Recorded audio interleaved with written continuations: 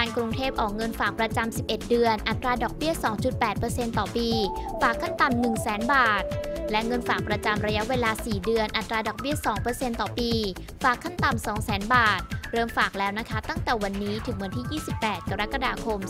2557 ค่ะ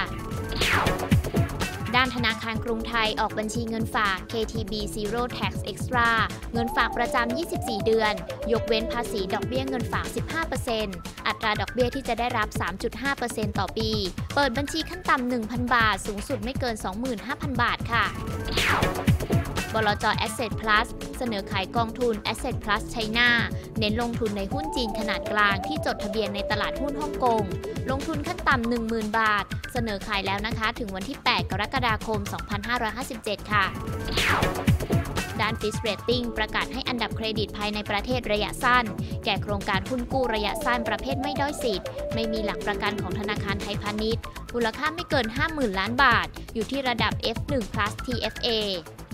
อย่าลืมนะคะว่าการลงทุนมีความเสี่ยง ผู้ลงทุนควรศึกษาข้อมูลก่อนการตัดสินใจลงทุนทุกครั้งค่ะ